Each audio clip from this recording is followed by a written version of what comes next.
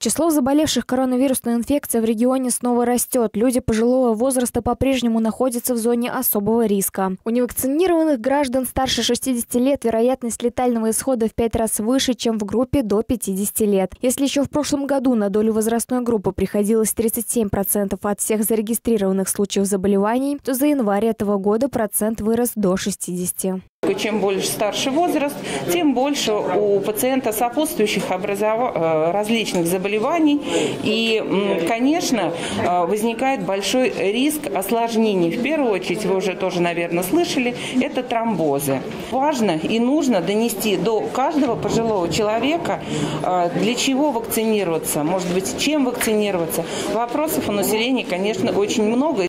А чтобы ответить на все вопросы и разъяснить, зачем старшему поколению прививка, в Центрах активного долголетия и социального обслуживания проводят тематические лекции. Так, в Центре «Исток» представителям серебряного поколения еще раз напомнили о возможных последствиях заболевания для невакцинированных. Медицинские работники подробно разобрали используемые вакцины и ответили на вопросы участников. Мы должны, наша категория 60+, должны обязательно прививаться. Если мы не прививаемся, мы не имеем возможности посещать наш клуб. Так что это нам необходимо. Закрепить усвоенный результат у бабушек и дедушек была возможность на месте. Сделать первую прививку или ревакцинироваться любой вакцины на выбор участники встречи смогли в Центре социального обслуживания «Исток» после прослушанной лекции. В соседнем кабинете был организован выездной пункт вакцинации.